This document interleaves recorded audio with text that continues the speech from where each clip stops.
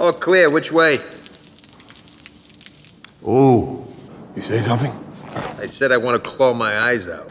But unfortunately, it wouldn't do any good because I already saw the awfulness. Will you focus? I'm focused. This pretty place is about to get uglified real quick by a bunch of freaking elves. Do you know that I saw all these people die?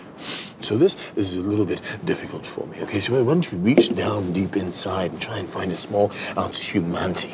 Just give me the thingy. Just give me the thing. Just give me the thing. I didn't, didn't even want to come here.